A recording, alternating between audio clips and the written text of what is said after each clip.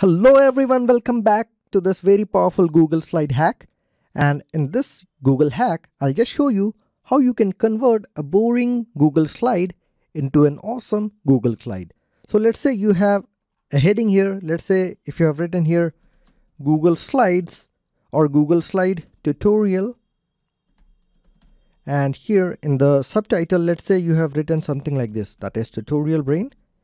And you see here, it looks very boring now there is a simple hack. What you have to do is you have to go to tools, go to explore option and towards your right you see you have various layouts and you see you can apply any of these layouts which will make your boring slide into an awesome slide. For example, let's say if I just select this, now you see how beautiful it looks. Similarly, if you just come down, you see if I like this option, I can choose this.